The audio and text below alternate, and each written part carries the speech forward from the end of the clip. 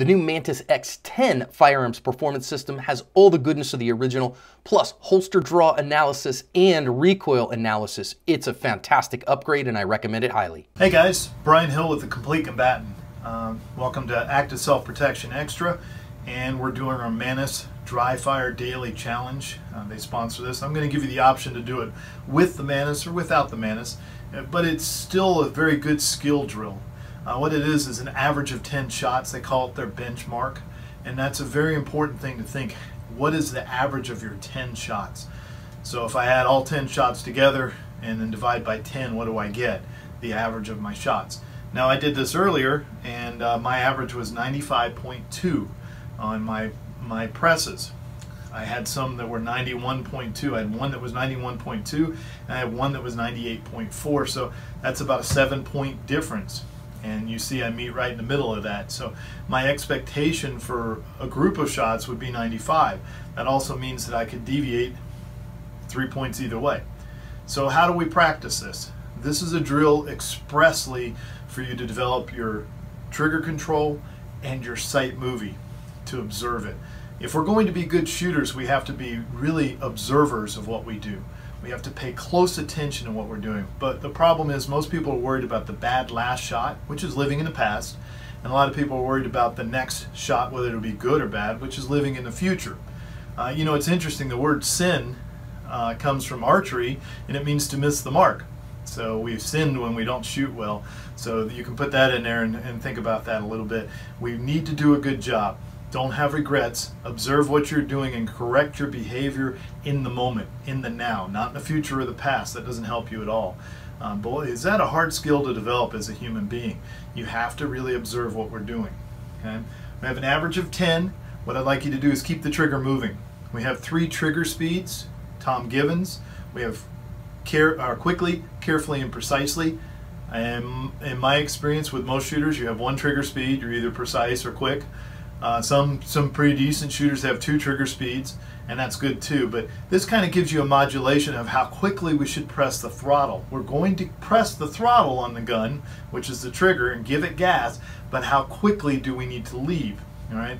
Imagine navigating a very narrow space and you jam the, the accelerator on. You're probably going to hit the walls or hit the car next to you. If you have a wide open road and you're on the autobahn and there's no speed limit, you can hit that throttle as fast as you want to. So that's what we're doing on the gun the thing that will dictate how fast we can do it is what we need to see. So it's going to be very different if I'm shooting one of those little circles or I'm shooting that big humanoid target or if there's something in the way. So let me show you guys how this works. Uh, I've got the Mantis on the bottom right here. I'm not going to hook it up. I shot the 10 shots so you don't have to watch me shoot because that's really boring. Uh, you should be practicing instead of watching me shoot. All right. I have uh, safety caps in here, uh, dummy rounds that are not bullets. They're orange colored, and that way I know I'm safe with it. I've cleared my gun. Okay. What I'm going to do is put this in here, then I'll load it and check. Okay. Everything's good. Okay, so now I know I have a gun that's not capable of firing. I moved all my ammunition out of the area so I can't accidentally put a live mag in there since I don't have the train safe disabler in there. Uh, this is another way for you guys to practice. So the idea with the Mantis X is to do the best trigger press that you can. Keep the trigger moving. Much like rowing a canoe, we need to keep the action equal and we need to keep rowing on both sides. What that means is your finger should touch both sides of the trigger and you should press as carefully, quickly, or precisely to the rear as you can. Now, if you see my finger, I'm bending it only in the knuckle. This is a precision shooting technique.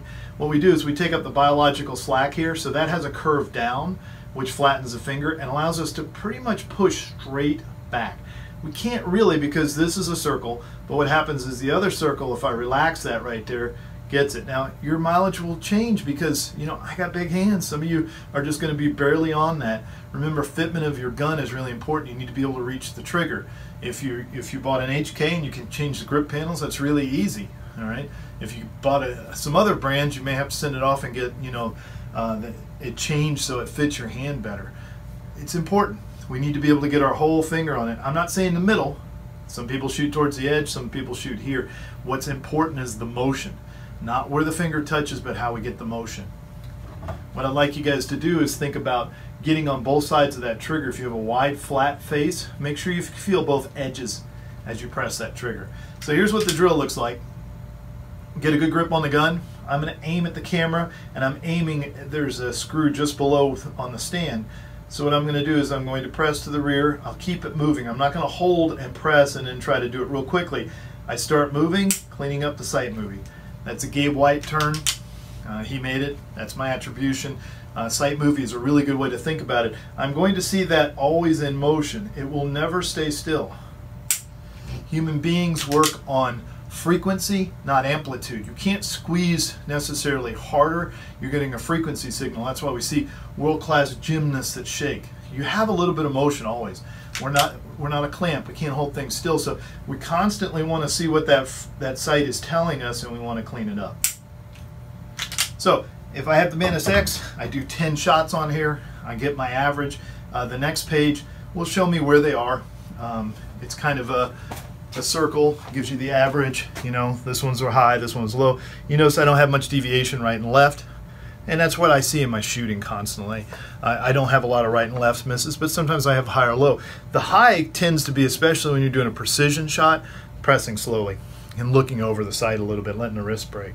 And that shows me how much you know it's pretty even. Uh, the trigger press is the yellow and the whole movement is the blue. So I'm not taking a lot of time on that. It's pretty even. And then I can pick one and play it back to see what happened during that, how much aiming, how much work I was doing, and what it looks like, and how precise that was. So it's very useful. Um, you know, precision shooters, man, we had to have notebooks, you know, we called them dope books, and it was data on pre previous engagements. And you kept writing to yourself, well, this is doing it for you. This is the history of my shooting here, and I can go back and look and see if I'm improving and what my scores were. So that's a really helpful thing for a shooter. Now, if you don't have one of these, still, you're involved in the drill. In dry practice, you do what we call calling the shot. Uh, Steve Anderson says, see the dot, call the shot. It's good, good thing if you have a dot. I don't have a rhyme for front sight, so you can make it up, you know. Uh, but what you want to do is at the moment that the striker or the hammer releases, you know where that sight is. So if I'm pressing right here, Okay, what I saw at the moment it released, it was actually a little high and right, and it just dropped slightly. In it would have been a very good shot, but that's because I was cleaning it up. Okay, that one probably went a little high. Okay, let my uh, I, I looked through it a little bit. I'm looking at the target here, and I get my finger moving, and off I go. Don't pin the trigger to the rear. Um, once you fire the shot, and you hold it like that, and the weapon cycles and you keep aiming. Now you got to release it, watch my muzzle, and then I start all over again. So uh, Jerry Miculek calls it aiming with a dead gun. That's a really good idea. The pinning and pressing is aiming with a dead gun. A lot of a lot of precision shooters do that because we have long barrels and there's an exit time and we have to follow through. But with a handgun, you don't gain anything for it. Um, so I would do uh, what Claude Werner told me they do at Rogers, which is the the flip and reset. You're going to flip the trigger and get ready, ready to reset it again. You want to be pressing that trigger and being ready to go. So you can practice that in dry practice. Start calling your shots. You know, you don't know where they go in dry practice, but what we're practicing is observing our sights. And you should be able to see the gun in recoil. You should see the brass kicking out because you're observing. Now, here's a good way to do it live fire. Take a B8, repair center, 10, 9, 8, 7, and outside. You score it this way. Uh, 9 is 1 point down, 8 is 2 points, 7 is 3 points, and a miss is 10 points down. Shoot 10 shots, start at 5 yards, which is a pretty easy distance.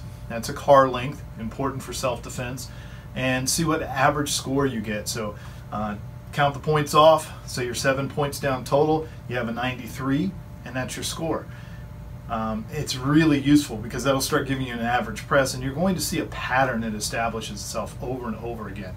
So 10 shots, five yards. Um, there's no time limit on it. It's not a time drill, but see how perfectly you can shoot. If you're getting 100, then what do you need to do? You need to move, move the target further back. Do it at 7 yards, do it at 10 yards, do it at 15 yards, do it at 25 yards, and try to really improve that. Once all that gets easy, then add the timer to it. All right, try to do it on a two second cadence, do it on one second cadence, do it on a half second cadence, do it on a quarter cadence, and see what your trigger press looks like. We know acceptably that we'll see some difference in it. That's one thing that Mantis does really easy for you guys, but you can do that at the range and you can call your shots at home.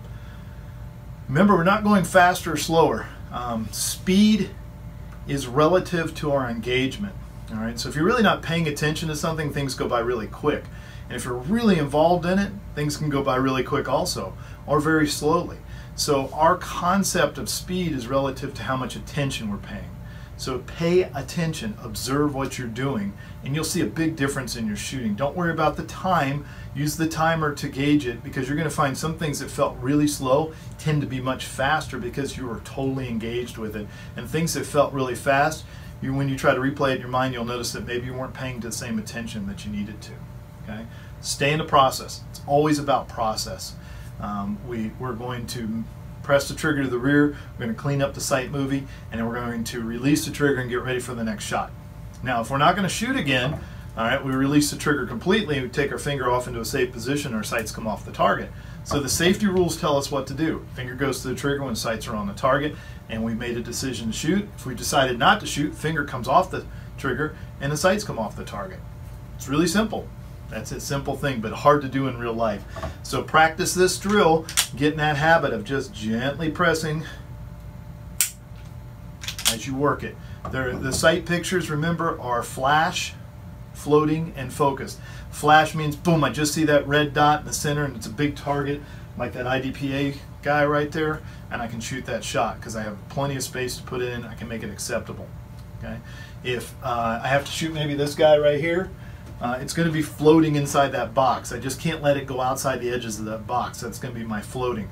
And if I'm going to shoot the X out of this target, it's going to be focused. I'm really going to uh, focus in on that. So that's the practice for the Mantis X benchmark drill. Uh, you can really improve your trigger press. You don't have to have the Mantis, so it's just very helpful. And hopefully this will uh, help you understand the tools that you have now with this, this unit, which is incredibly useful of keeping information and tracking what you're doing. Uh, things that people aren't very good at, frankly. Okay? Uh, so I'm Brian Hill with The Complete Combatant. Uh, you can find us on social media and check out our website. If you need any help, please reach out to me. I'd like to thank Active Self Protection for allowing me to do this. John and the whole staff, Stephanie, Neil, all you guys are just awesome. And I'm incredibly grateful to spend time with all you wonderful folks that want to get better at shooting. The questions have been great. The interaction's been great. It's very positive, and I'm glad that I, I can help some of you guys. Know also that you're helping me.